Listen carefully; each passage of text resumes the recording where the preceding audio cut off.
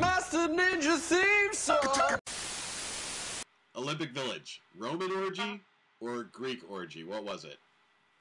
It is a fun place for athletes to be, and athletes should keep that between athletes. what, what happens in the Olympic Village stays in the Olympic Village.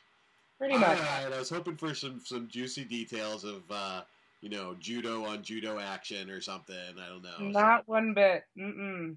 No? Not nuts, lady. That is. That is. This is what I've been telling people when they ask me that. When you make it to the Olympics, you can find out if it's true or not. well, then I'm screwed. Okay. you never know. Yeah. It's too late. Uh, there there could be one for Olympic napping.